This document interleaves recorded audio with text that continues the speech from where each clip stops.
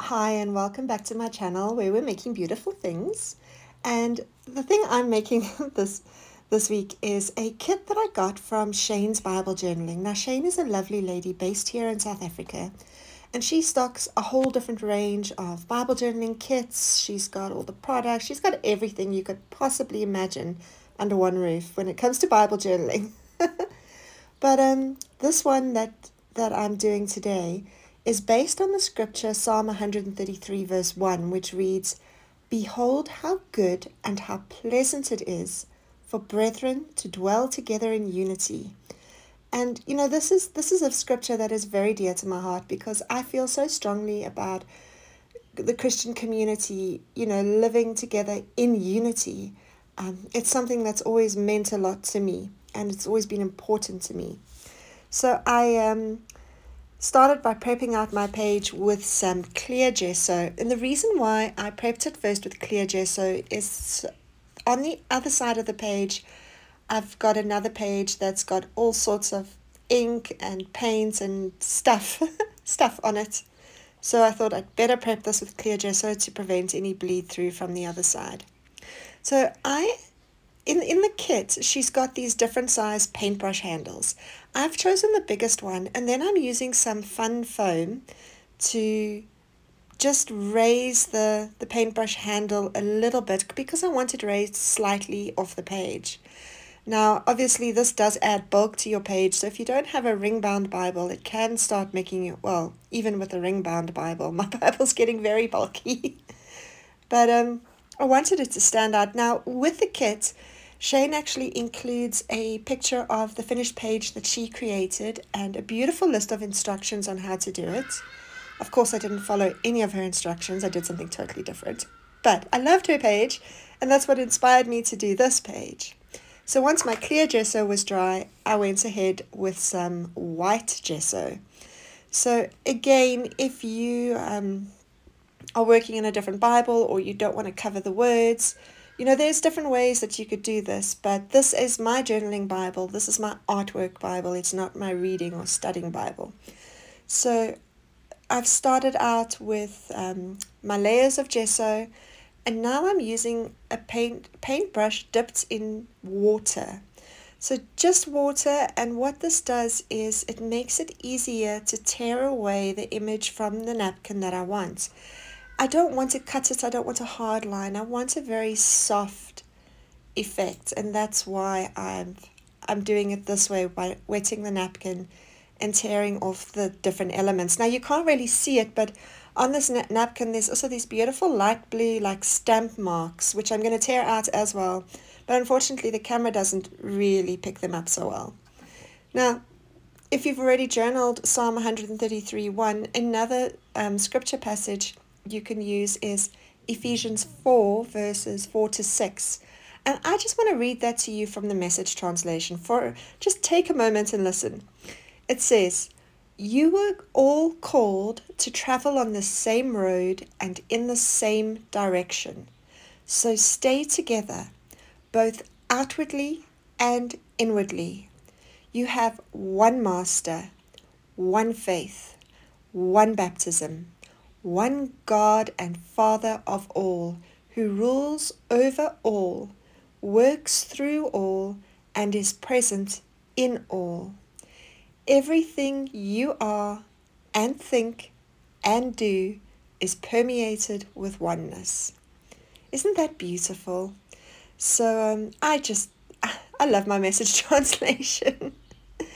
So you can see with uh, coming back to my page with the napkin, I'm just playing around a bit with the placing, sort of trying to figure out where I want everything. I really want the effect of these flowers to just be splashed across this whole page. That's kind of what, what I'm thinking. So I'm using some ordinary acrylic paints and um, just mixing up the colors to get the shade I want. So remember I have clear gesso on the page, I have some white gesso on the page, and now I'm going in with some green acrylic paints. And you're going to see I'm just going to spread it across the page just to start creating that canvas. And you'll see as I put the paint on, you'll see the texture from the page on the other side starts to show through. And I love that. I love texture. I'm, I'm just, I love my texture. So sticking this down, I can then dry it with my heat tool and then I can go ahead and I can actually just start placing the napkin. Now the thing with the napkin, um, how I like to do it, there's no right or wrong way here. Well, maybe there are some wrong ways, but the way I like to do it is I dampen my brush and then dip dip it in with my brush damp. So it's not sopping wet, but with my brush already damp, I dip it into a clear gesso, paint the clear gesso onto the page, place my napkin and then paint over the napkin again with the same brush that's been dipped in the clear gesso. If the brush starts to feel like it's getting a bit dry, I dip it in my water again. Clean water, not paint water, preferably. So clean water. And um, so that for me is the trick is to have to be working with a slightly damp brush and not just gesso on its own. So it's almost like my gesso is a little bit watered down, but not very, just a little bit. And I am already loving how this literally looks like these flowers have been splashed across this page, which was kind of the effect I was going for. So you can see I've allowed the napkin to sort of overhang the edges a bit and only when I'm done and everything's dry will I go back and trim off all the excess pieces. But I do just cut away around my washi tape where my key key verse is because I want that to stand out. And you know, I kind of I actually wrote at the end end of the video you'll see that I wrote on my page, we are all works of art and we are all artists at work because for me, you know, in in addition to that oneness or that unity is knowing that each one of us is created special. Each one of us is, you know, a, a piece of work, artwork that God has created, and each of us is, in everything we do, a creative person. Um, you know, my friend um, Surya likes to say, if you got dressed this morning, you're creative. If you chose clothes to put on your body, you're creative everybody is creative. So you'll see um, as I get to the end of the page that I'll add that, that sentiment to this.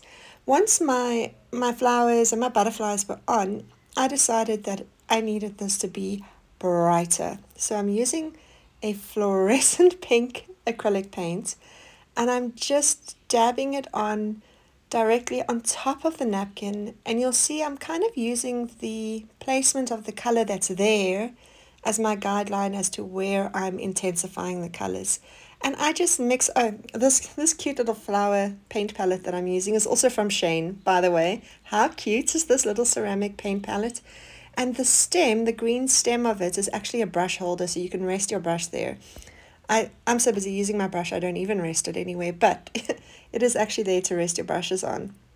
But you can see how, as I work, I actually mix my colors in the palettes and spread them around because I'm not going for a a perfect Rembrandt. I'm going for more of a Picasso, more of a um, yeah, more of a Picasso type of vibe where the color is just splashed on, which is kind of the the look I'm going for. So I'm mixing my colors and I'm just adding it directly to the napkin to make everything pop and stand out. And you'll see when I mix the green to use on the leaves, I add something called a acrylic medium. And what an acrylic medium is, it's basically something that waters down your acrylic without using water. You see, if you have acrylic paint and you want it to be more fluid and, and more like watercolor in consistency, if you add water to it, you actually, the pigment itself, you start to lose pigment. The pigment starts to break up. The more water you add to it, the more the pigment breaks up. And if you want to keep the intensity of the pigment but have something a little more fluid like a watercolor texture, that's when you would use your acrylic medium. So it makes the acrylic paint behave like a watercolor without losing any of the intensity of the actual pigment. So you'll see when I get to the green, you'll see me adding that. But I'm just adding pops of color and then obviously I'm going to finish it off with my sentiments. So I hope you all enjoy this. I will um, list all the products that I've used in the description of the video and I hope to see you all back on my channel soon. Bye!